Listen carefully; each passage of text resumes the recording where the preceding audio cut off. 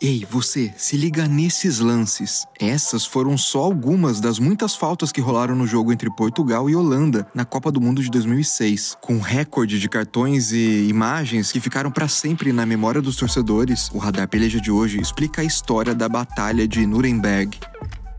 25 de junho de 2006, pelas oitavas de final da Copa do Mundo, em Nuremberg, na Alemanha, Portugal e Holanda se enfrentaram num duelo que prometia desde o início. As duas seleções contavam com grandes craques, jovens, veteranos, que marcaram gerações, e as expectativas eram altas para um jogo de muita qualidade técnica. Do lado português, Figo, Deco e Cristiano Ronaldo estavam entre os principais nomes do time, comandado pelo Felipão, o treinador campeão do mundo com o Brasil em 2002 e que estava numa sequência de 10 vitórias nos seus últimos 10 jogos em Copas. Já os holandeses eram liderados pela experiência do lendário goleiro Van der Sar e também tinham jovens como Snyder, Van Persie e Robin. Além dos bons elencos, rolava um sentimento de vingança por parte da Holanda, que foi eliminada por Portugal na semi da Euro de 2004.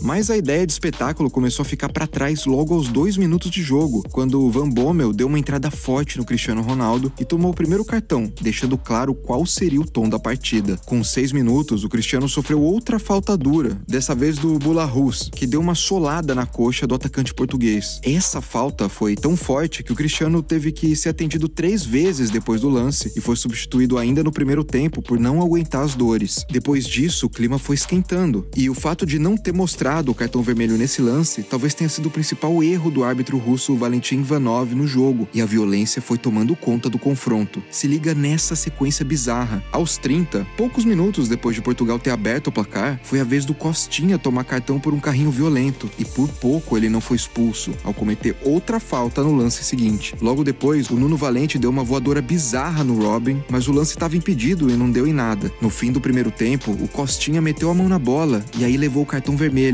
deixando a seleção portuguesa numa situação complicada para a segunda etapa todo mundo esperava muita pressão da Holanda por causa da vantagem numérica. E logo aos 3 minutos do segundo tempo, o Cocu acertou uma bola no travessão que quase empatou o jogo. A partida seguiu violenta, com o árbitro distribuindo cartões e já sem o controle do jogo, tendo que separar as discussões a cada falta marcada. Apesar da cabeçada do Zidane na final daquela Copa ter ficado marcada na história, foi o Figo que fez isso primeiro. Numa das tretas entre os jogadores, o português deu uma cabeçada no Van Bommel, mas só recebeu o amarelo. O Bula Rus, que decidiu vingar o companheiro e deu uma cotovelada no rosto do Figo, foi mais um a ser expulso. Além dele, os colegas de Barcelona Deco e Van Bronckhorst também tomaram vermelho. Inclusive, a imagem deles dois sentados e conversando depois de serem expulsos foi uma das mais marcantes dessa batalha.